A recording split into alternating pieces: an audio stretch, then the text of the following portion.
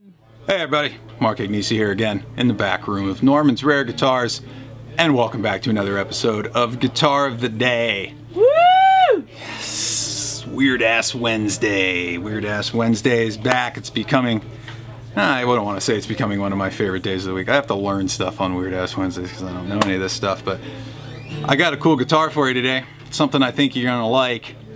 It's black. Ooh. It's a good start. Jimmy Yes. Page kind of used something like this, which is a really good start.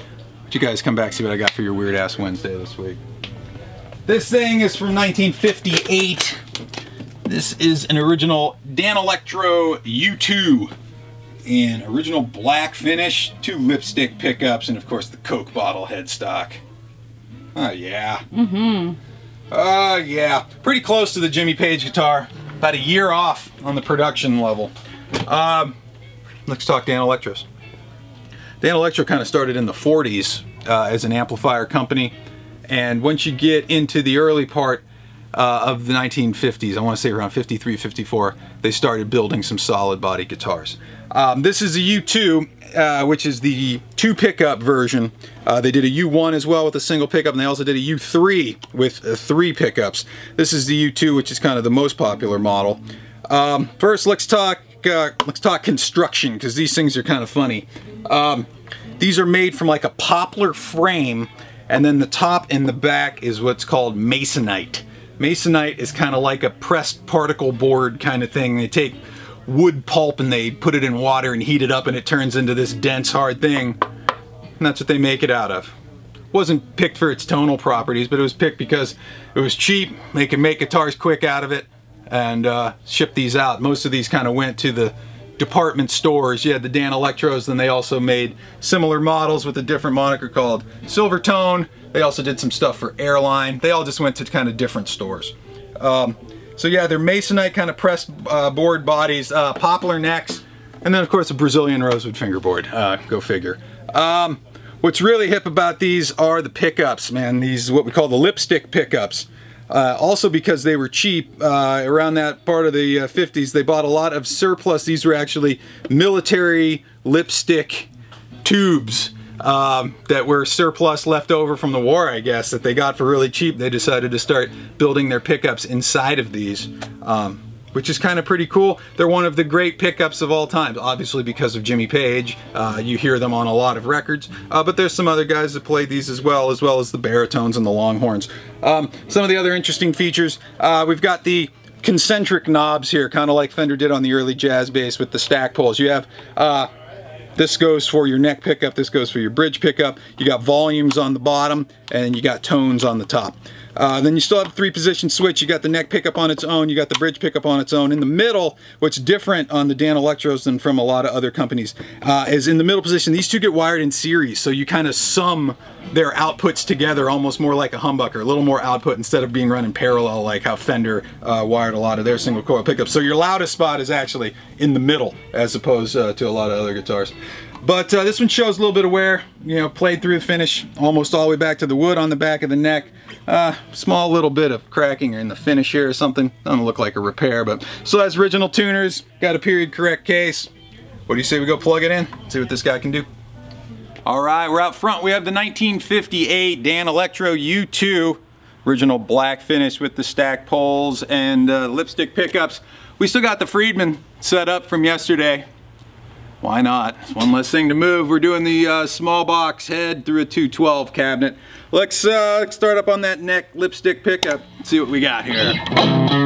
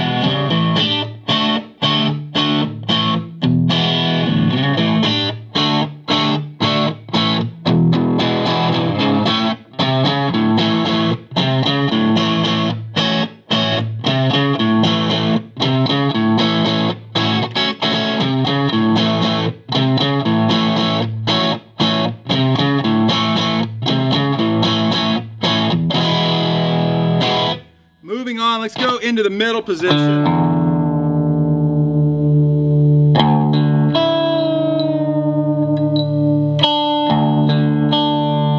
Now we got both of those pickups on in series, almost working like a humbucker. Let's see what that can do here.